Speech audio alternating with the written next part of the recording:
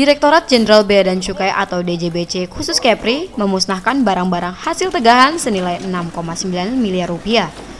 Barang ilegal yang dimusnahkan di antaranya yaitu 2.523 botol minuman keras berbagai merek, 13.887,544 rokok ilegal, dan 2.279 bol pakaian bekas pakai, serta barang-barang lainnya senilai total 6,9 miliar rupiah.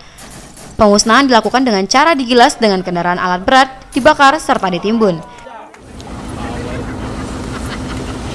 13 juta 887 545 batang ya di mana yang 1000 yang 1 juta 338 itu hasil dari kantor wilayah kemudian 12 juta 549 544 batang itu eh, kan, eh, dari kantor pelayanan Tanjung Balai Karimun ya memang tujuannya kita tangkap kalau yang di laut itu di wilayah perairan eh, wilayah kerja Kanwil khusus Tanjung Balai Karimun itu kan mulai dari Aceh sana ya wilayah kerja kita mulai dari Aceh sampai Natuna sana.